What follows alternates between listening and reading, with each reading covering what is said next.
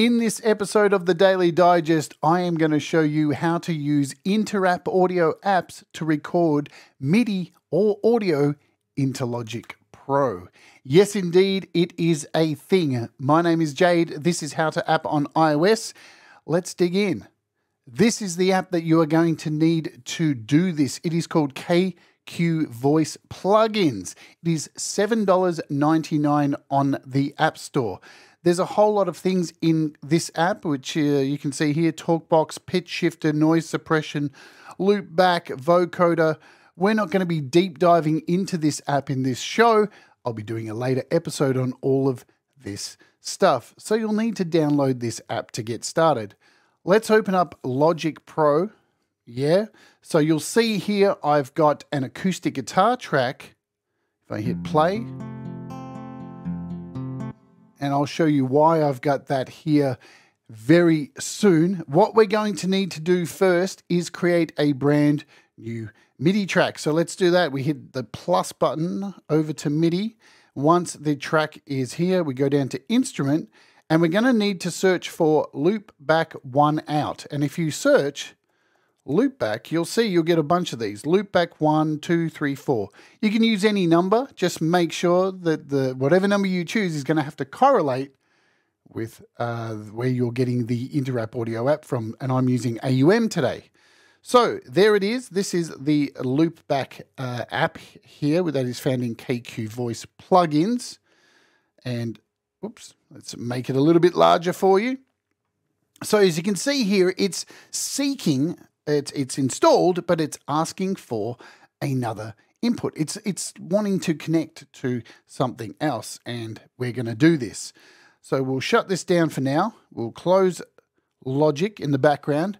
So I'm going to use Sample Tank because I love the acoustic guitar in here. So I'm just going to do a search for Sample Tank.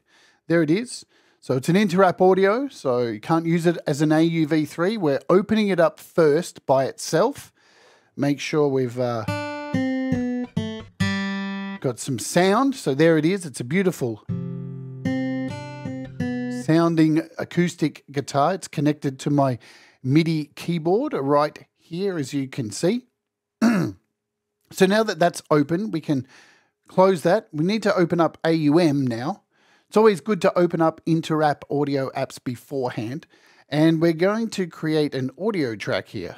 That is done. So now we can open Sample Tank. So we need to do a search. Sample, uh, spell it right, would that would be really good. Sample Tank. So that's now installed. If I click on here, it takes us over to the app and back to AUM. And in the effects slot, very important this, you need to search for loopback one. And there it is.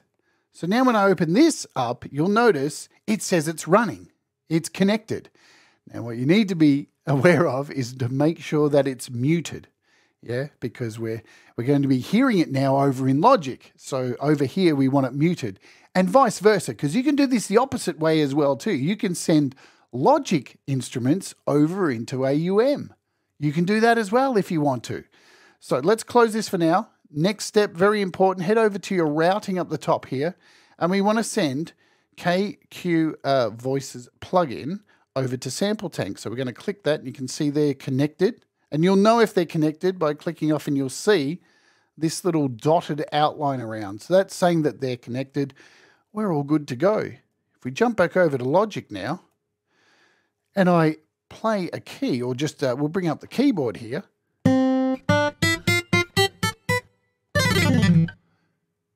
And the buffer is really, uh, there's not much delay there.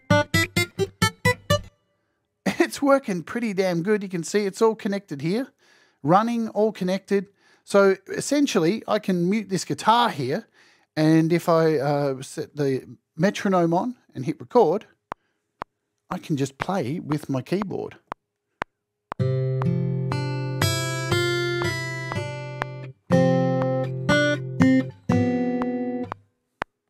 And there it is.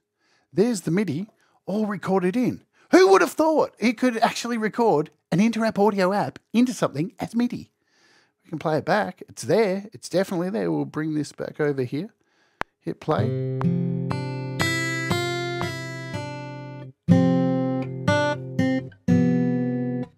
So the one drawback is, of course, when you open this up, uh, you open this project again, you're going to need to have AUM open in the background with all the rest of it set up so it can pull the sound through each time you open up this project. Of course, we could transfer this MIDI into a brand new audio track by selecting and creating a new audio track, bring up our lovely mixer here in Logic. We'll make this full screen. Make sure we're in setup so we can go over to the loopback MIDI channel we've just created create a send, a bus send. So that's created an auxiliary send here. We'll turn this up over here, the, the send. Now we want to send this bus over to that new audio track. So we just click over here, select bus, like so. And uh, we'll make sure it's in stereo as well. So that's in stereo. And now all we have to do is arm this track, bring down here, and if we play this back and hit record, we can now record this MIDI in real time into an audio track so we don't have to keep pulling it from AUM like this.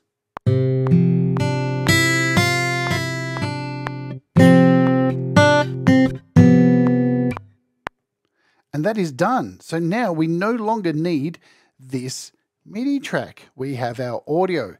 So there's that. But also, let's now mute these tracks because I've got this guitar track here that already has MIDI in it. We'll keep this one unmuted. We'll delete this now.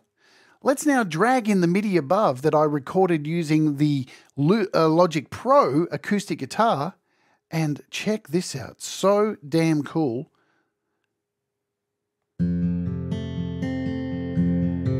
So now in real time, we're pulling the Interapp audio sounds from AUM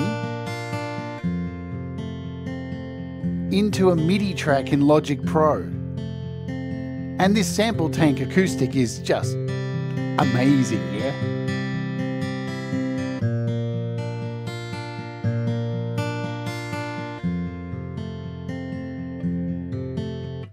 Makes a massive difference. All right, so let's clear this track out. Let's start again and do this with something else. So we'll we'll shut that down. We'll go into our background here and close out a few things that we don't need. Let's get rid of sample tank. A few of these things here, I've got things running in the background. We'll uh, go over to AUM and remove sample tank from here. We'll leave this in because we're going to use this again, yeah? And now I'm going to use something like, a, let's do Soft Drummer. So we'll do a search because not all of these Interapp audio apps can record MIDI. So if we hit play here on Soft Drummer, yeah, cool. Again, Interapp audio, and you know, you can export MIDI files with this app. So there's many ways you can use Soft Drummer, but let's try this. So we're going to jump over to AUM now and load Soft Drummer in here. There it is. So we've got that connected, but I'm going to do something a little bit different now. We're going to jump back over to uh, Logic Pro. We'll create a brand new project, create a MIDI track once again, and we're going to load in here our loopback one. Open it up, make sure it's connected. Looks like it's running, it's all connected. But this time we want to make sure that the drums over in AUM are syncing to logic. So we can hit play over there or play over here and it's going to uh, link up. And we can do this with Ableton Link. So I have Ableton Link uh, set up over here and I think you can do that by customizing your control bar. Uh, whereas it's in modes, I think. I can't remember where it is. Is it right in front of me? Ableton Link, transport, display, modes. It's somewhere there. Ableton Sync, there it is. So that's your Ableton Link setup. So now if I turn on Ableton Link, it's now trying to link to AUM. We'll jump back over to AUM. And I already have Ableton Link enabled, and you can do that by going over here. It's connected. You can tell it's connected because it's got this little chain link up here. So now uh, I should be able to, in theory, jump back to Logic and hit play, and it's not working. That's interesting, isn't it? Um, does it link up? Or do I have to go back over here to and set the routing. Let's go over here. So we've got loop back and we want to set this to our soft drummer. Let's make sure we're doing this correct. Soft drummer is linked. Cool. So there's that. That's linked. Boom Tish. Does it work here? Maybe not. there you go. Um, have I missed something? Let's go into settings over here and uh, hit, pro, where are we? Uh, recording, MIDI, I think it's in project settings. Recording, synchronization, Ableton link is selected. So I didn't have transmit, receive, start, and stop selected. So there you go. And there we go. So we've got it hooked up. So you've seen in real time my mistakes because mistakes make you better, remember? So that's how you do that. So now it should just work here. I can record MIDI in here. So if I hit record, we just should be able to record some MIDI. Yeah? No, it's not working like that. Because as I said, not all Interapp Audio sends MIDI files. So how do we get about this? How do we make this happen? I don't know. Let's find a way. There's got to be a way to do it. All right, what we're going to do is we'll just close this here. We're going to create an audio track. And we're going to pretty much do the same thing as what we did before. We're going to route this uh, instrument here over to a bus first. So we'll go up here and select our edit. We'll go into this MIDI track here and create a send, create a bus, create a new bus. So here's our new bus. We'll turn this up over here. So we're sending that out to this bus. Then we want to send this bus over here in stereo to our, so we're connected via the bus here. So that's all good. Now I'm just going to bring this down here and let's go into our settings up here. I'm going to turn off our count in so it should start straight away. We're going to go over here to record the audio track because that's where we want to record it. And if I hit record, this should work. I hope so. Fingers crossed, eh? Let's uh, go record.